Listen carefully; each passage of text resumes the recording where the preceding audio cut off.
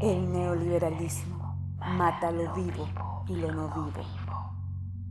La violencia policial es cada vez más brutal. El extractivismo chupa el planeta. Es el modus operandi de las grandes compañías que lucran.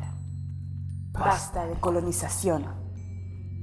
Así nace la historia de los buenos y de los malos. Lo que hace que no se pueda trabajar juntos ahora. Y esta misión necesita a todos los terrícolas. Vamos a saltar el torniquete de la producción desenfrenada. Un millón de especies amenazadas. Una cancha cada dos segundos se corta en los bosques del mundo.